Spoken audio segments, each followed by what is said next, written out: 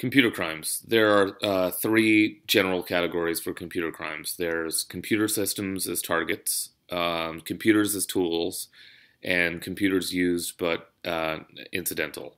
So with computer systems as targets, it's when the system itself is under attack. So denial of service attacks are an example. Malware, um, when you exploit some sort of vulnerability to store illegal content.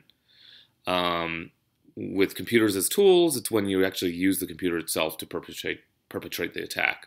So uh, it could be stealing credit card information. Uh, it could be hacking into a database to steal PII, um, or you know using a computer to harass someone via social network.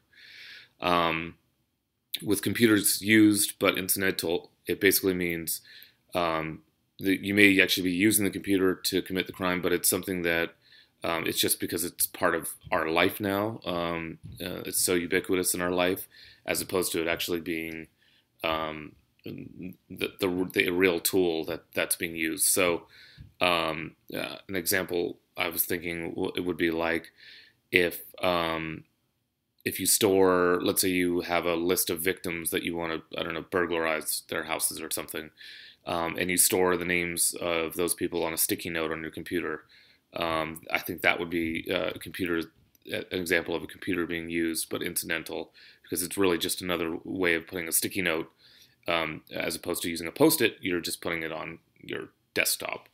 Um, so those are the three uh, major categories of computer crimes.